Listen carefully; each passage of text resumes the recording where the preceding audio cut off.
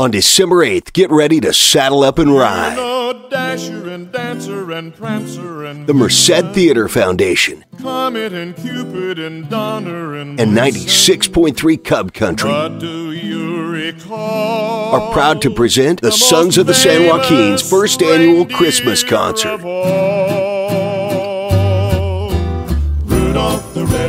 Their live performances range from rodeos out west to the House of Blues in Los Angeles and even New York's Carnegie Hall. You could see the Sons of the San Joaquin live December 8th at the Art Kamangar Center at the Merced Theater. Doors open up at 6 p.m. and the show starts at 7. Tickets are 24 and $29 and can be purchased online at mercedtheater.org, at the box office at 307 West Main Street in Merced, or call the box office 209 381 0500 Monday through Friday from 1 p.m. to 5 p.m.